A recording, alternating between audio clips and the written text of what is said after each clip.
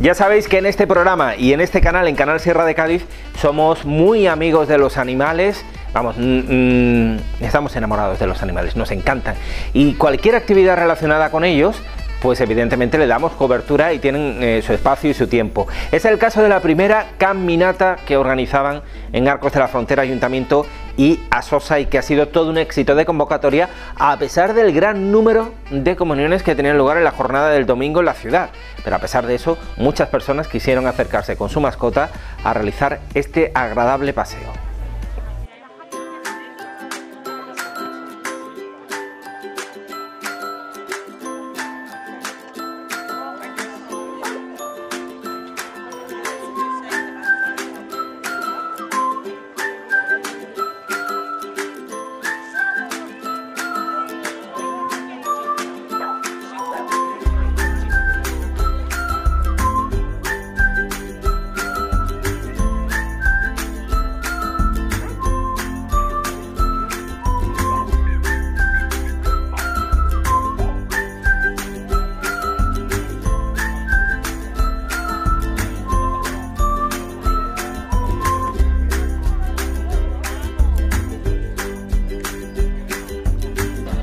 Bueno, pues en un día soleado, estupendo, que de domingo, un día de descanso para la mayoría, de fiesta para otros, pero un día también de concienciación, de sensibilización y de estar aquí participando en esta actividad, que es la primera caminata que se celebra en Arcos de la Frontera. Estoy con, con Dani, que es el delegado de Medio Ambiente, con Diego, hoy, perdón, Diego Carrera, delegado de Medio Ambiente, el subconsciente, con el compañero Dani de Cultura y con eh, Jorge Antonio Vázquez, que es eh, miembro voluntario de ASOSA.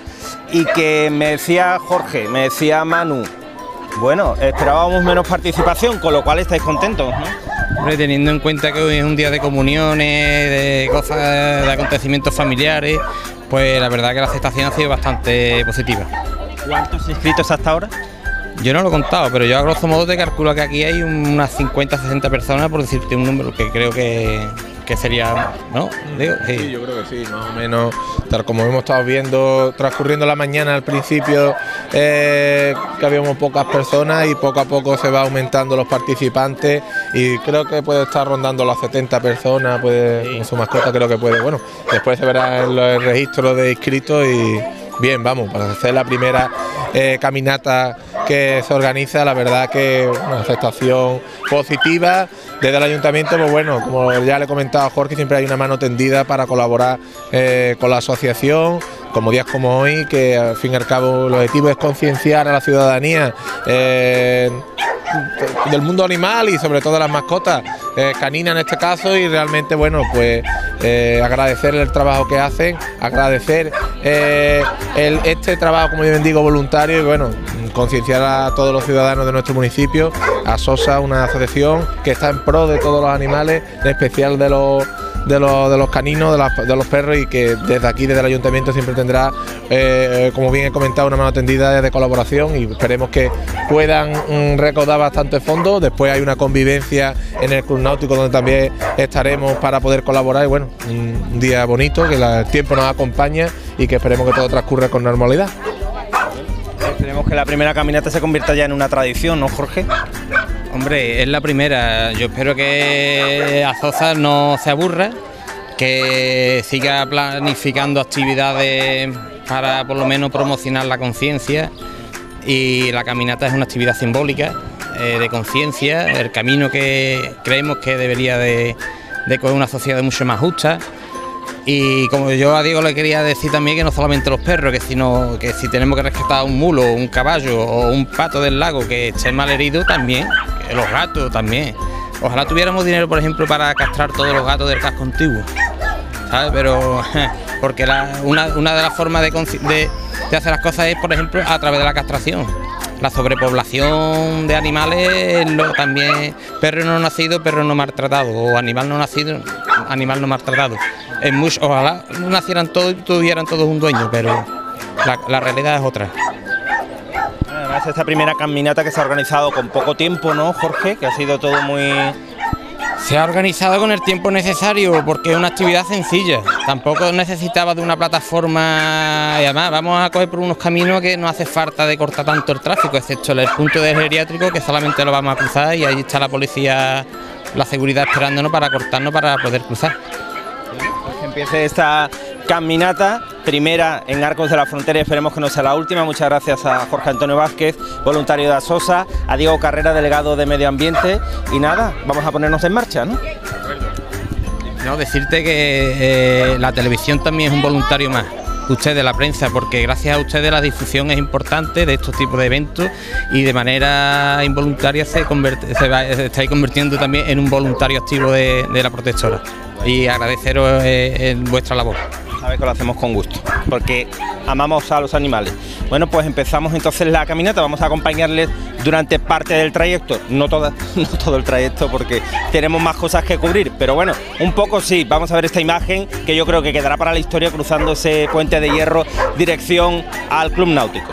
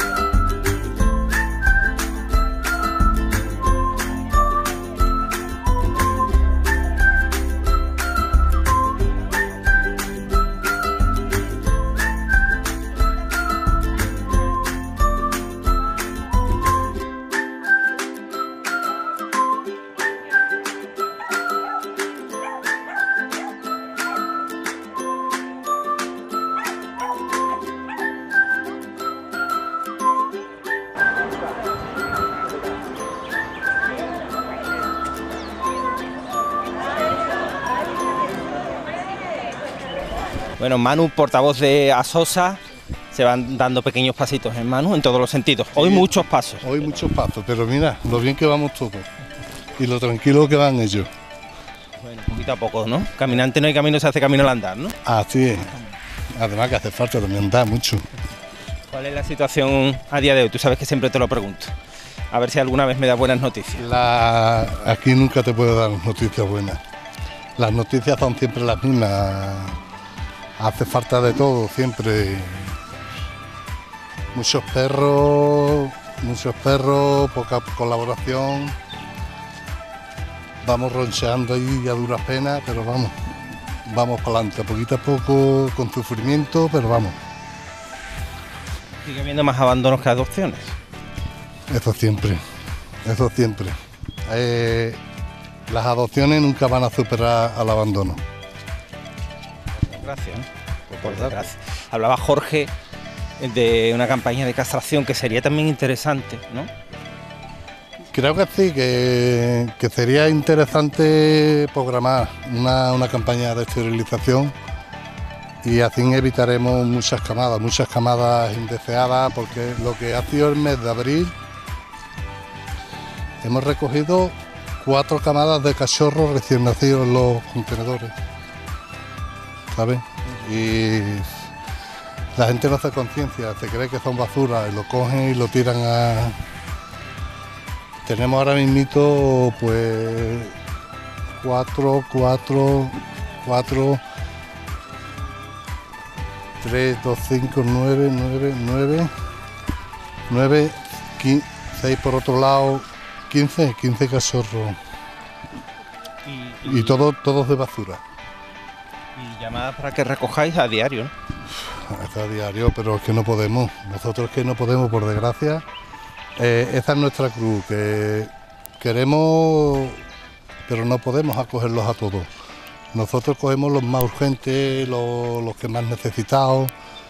Eh, y pedimos ayuda siempre, sacamos muchos perros que no llegamos ni a publicarlo porque, porque, tal, porque como no tenemos sitio donde meterlo, pues entonces pedimos colaboración a la gente, la gente nos los acoge o nos ponemos en contacto con otras asociaciones y ellos nos los cogen. Entonces te puedo decir que nosotros casi a diario sacamos perros de aquí de, del término este. pero hay muchos que no podemos. Hay gente que, por ejemplo, cuando viene un perro grande, esto no, la gente no lo quiere. Los, los perros enfermos los tenemos que coger nosotros y, y, y asumir sus gastos para curarlo. En fin, yo tengo la esperanza, nunca tiro la toalla de que algún día Manu me pueda contar otro tipo de noticias. Pero la realidad es la que es, las cosas como son, ¿para qué nos vamos a engañar, no? Si es, si es lo que hay. Es lo que Es hay. lo que hay. Además, la, la gente va buscando el perro perfecto. Que eso también me parece bastante cruel, ¿no? Eh, si le tienes cariño a un perro, pues da igual si, si está enfermo, pues lo curarás, si lo cuidarás, lo, en fin. Pero si vamos buscando el perro de película. Efectivamente, la gente, eh, la gente se fija más en la raza, en la raza, en, en los perritos chicos, en los perritos chicos. Si yo, si, si son Yorkshire, se vuelven locas, se vuelven locos con los Por la Yorkshire. moda. Que hay No, no, no por la moda, sino que la moda del Yorkshire, todo, porque la moda se termina y la moda del se ha terminado. Lo único que pasa es que la gente, pues hay muchos que nos han podido eh, tener un comprado un Yorkshire y ahora lo publicamos y se vuelven locos por el Yorkshire. Eh, ¿Qué pasa cuando le decimos que tienen que esterilizarla cuando es hembra? No, porque yo tengo un machito, lo quiero sacar cría. No, pues entonces no te damos el perro. Es que yo no te voy a dar a ti un perro para que tú le saques cría. Si lo esterilizas, bien. Si no lo esterilizas, lo siento en el alma, pero no sale. Y tío, Bueno, Manu, pues que paséis un buen día. Seguid vuestro camino, estamos ya en el puente de Angorrilla, seguid vuestro camino hasta el Club Náutico y bueno, la participación más alta de la esperada, nos alegramos, a pesar de ser un día de muchas comuniones, de muchas celebraciones. mucha gente, mucha gente para...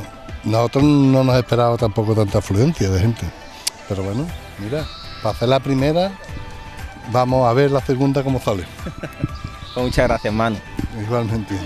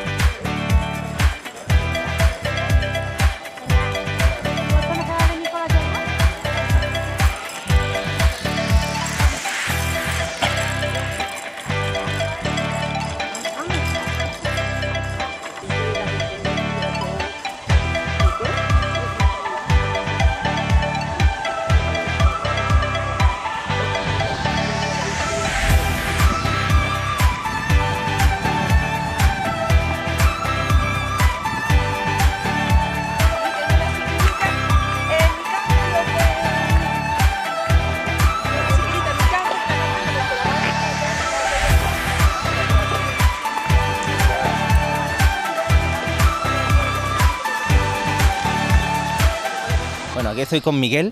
Miguel dice que no es adiestrador. Entonces, ¿qué, qué eres, Miguel? Psicología canina. Psicología que canina. Que no es lo mismo que adiestrador. No, nada. ¿Y cuál Eh, es la diferencia?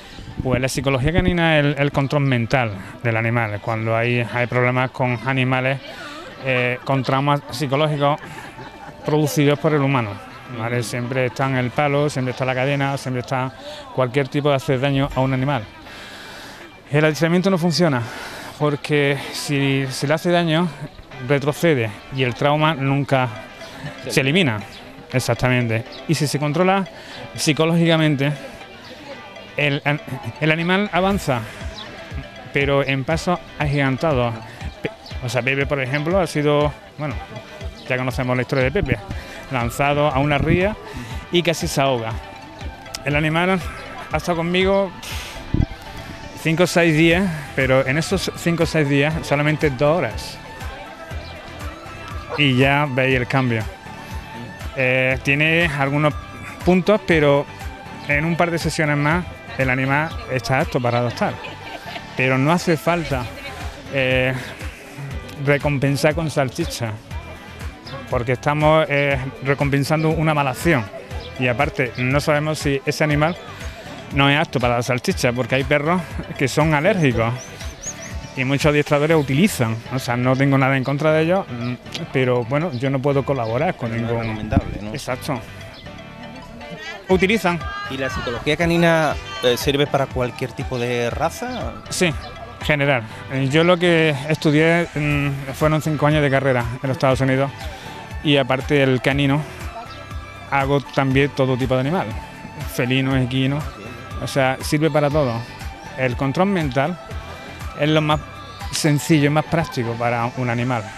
Pero un gato suele ser, por regla general, bastante más independiente y más... Sí, es mucho más independiente, es más esquivo, pero eh, también se utiliza la psicología. ¿vale? El felino, de hecho, tiene una energía más fuerte que un, que un canino. Pero en el momento que controlamos al felino, y es muy fácil de controlar a un felino, todo marcha. Miguel, ¿y tú aquí en Arcos has tenido ocasión de, de trabajar con, con perros, con gatos, solo con perros? Aquí con perros solamente. En Jerez ha sido con perro y con gato. Bueno, perdón, eh, un matiz. Eh, Cuco viene de una casa eh, con gatos. Tenía un problema con gatos. Y llegué y en ese mismo día se solucionó el problema gato y perro. ¿vale? Solamente hay que dar información al, al dueño o, o a la persona que está de, de casa de acogida para que haya una buena convivencia. Miguel, en realidad hay que educar al, Al humano. al humano. Al humano. Desde pequeño. Vamos, mm, viene un coche. Viene un coche. Bueno, pues, Vamos para acá. Quiero, quiero decirte de referente a él. Espera, espera. Que... Dime, dime, man. Referente a él, eh, es un pedazo de psicólogo. Sí, sí, de eso estábamos hablando. Es un pedazo de psicólogo. Está haciendo un trabajo con Pepe. Vamos. Pepe lo rescatamos nosotros de un canal. Llevaba en el canal cuatro o cinco días metido. Venía ate- totalmente aterrorizado. No había quien se le acercara a él. No paseaba. ni- Fíjate. Fíjate, sí, sí, sí, nos, nos lo estaba contando, que ha sido como en 5 o 6 días, me decía Miguel, ¿no? Sí, sí, él viene una- un par de horas, tres, viene un día a la semana al igual.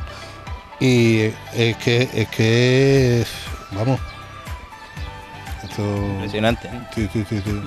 Por eso estamos hablando con él además. Y, en fin, eh, yo creo que lo mejor que podemos hacer es quedar otro día con Miguel y hablar más tranquilamente de todo esto, porque van a continuar el camino y tampoco me parece correcto que lo tengamos aquí prácticamente secuestrado, retenido con nosotros. Eh, es más importante dos mensajes. Adopta y no compre. Y la educación se empieza desde pequeño. No hay límite de educación. No porque somos mayores no podemos ser educados. Pero si se inculca en el colegio, esa sería la base. Porque mm, lo suyo sería llevar gatos, perros. Y de ahí se empieza. Un, granito, poco a poco. ¿Cuántas familias quieren abandonar un perro porque no consiguen Sí. que se Eh, comporte en casa? eh, Claro, o, o bien porque le hace pipí o hace caca y no tiene un control, le marca con la comida, etcétera, etcétera, etcétera. Pero es porque pertenecemos a su manada. Cuando un perro entra en casa, automáticamente eh, se hace el dominante, ¿vale? Pero no tiene que ver como líder. Tanto en la comida como en el paseo, como en la entrada o salida de casa. Ningún perro tiene que salir siempre adelante. Muchas personas, eh, bueno, de, no, no, me lleva y hace lo que quiere. Claro, ahí está el error, que hace lo que quiere, porque no hay control. Yo no digo que no, que no se divierta uno con su perro, pero hay que darle límites, limitaciones y control, ¿vale? Y después que se comporte con los Es animales. que pasamos de un extremo a otro, pero ya digo que me gustaría hablarlo otro día más tranquilamente, pero lo, lo último que quiero decir es que pasamos, por ejemplo, de- de- del maltrato a la humanización Bueno. de- del animal, que no sé si eso tanto es una correcto. cosa tanto una cosa como la otra es, es malo el, el maltrato obviamente el, el 90% de los hombres son los que maltratan y hay un 10% que hay mujeres que maltratan ya no es física sino abandono también significa maltrato después la segunda cuestión cuando lo humanizamos son nuestros bebés pero cuando muerde ya el, el maldito perro. O sea, mm, vamos a, a educarnos nosotros para poder tener un, animal y dar esa educación y ese perfil, ¿vale? Pero no voy a tener un perrito eh, ahora por Navidad. Cuando llegue Navidad regalamos un perrito o bien eh, el cumpleaños del niño, un perrito, porque pide un perrito y después el perro abandonado. Eso es lamentable y patético. Yo prefiero que le regalen un peluche, ¿vale? Que no hace pipí, no hace caca, no es tanta responsabilidad y no es, es, bueno, digámoslo así, tanta molestia. Porque después, al final, un ser vivo es un perro, un caballo, un, gato, lo que sea, pero no, no tenemos el derecho sobre ellos. Ellos necesitan vivir. Y todo animal, recuerdo una cosa, porque a más de uno quiero que se lo olvida, todo animal con sistema nervioso sufre, padece y llora. ¿Vale? Por si a alguien se le ha quedado en duda, cuando se le pega llora y sufre. Así que mm, seamos un poquito más sensatos con ellos y educados. Porque lo único que, que requieren ellos es una figura a seguir, un líder. Es lo único. Y no hay más. Pero el, el maltrato para qué? No lo entiendo. Cada día tengo más claro que no son ellos, somos nosotros. 100%. Está claro. Siempre todos los problemas son humanos. Ningún perro nace agresivo, como he escuchado, o como muchos veterinarios y adiestradores comentan y dicen. Señores, lo siento, pero no es así. Ningún animal nace agresivo. Los volvemos agresivos. Seamos lógicos y concretos. Yo no pido que, eh, que adopte 100 perros una persona. No. Pero por lo menos una persona con que adopte un animal salva una vida y aparte vamos a darle una educación y un respeto. Porque si nosotros lo pasamos mal, imaginemos ya cuando lo intentan ahorcar o meterle fuego o partirle las patas, etcétera, etcétera. Miguel, pues muchísimas gracias. Mm, El resultado está, salta a la vista, ¿no? Mira, qué guapo y qué hermoso está y, y qué bien y qué bien se comporta y se le puede tocar, aunque todavía está un poquito sensible con ese tema, pero en cinco días el resultado, como nos decía Manu, espectacular. Muy bien. Y, cada día mejor. Y cada día mejor. Y cada día mejor. Bueno, pues Miguel trabaja Él la ayuda. psicología canina y si, si él quiere, pues más adelante podemos hacer algo Mm. para demostrar bueno, cómo, cómo trabajas, ¿no? Y para que, bueno, aunque yo sé que en Arcos e incluso en Jerez, ¿no? Ya te van conociendo, ¿no? Van conociendo Sí. tu, tu manera de, de trabajar. Pues lo dicho, muchísimas gracias. Continúa el camino que ya mm, han perdido, no pero yo sé lo si, sigo. a ver Yo si lo sigo. consigues alcanzarlo. Gracias, Claro. Miguel. A vosotros, muchísimas gracias. Esperamos que lo hayáis pasado tan bien como nosotros y nos volvemos a encontrar mañana a las 9 y media de la noche aquí en el Club de la Buena Gente de Canal Sierra de Cádiz. No tiene pérdida, la verdad. Eh, como siempre, gracias por vuestra atención, por vuestra confianza. Que seáis buenos y buenas. No como yo. Adiós.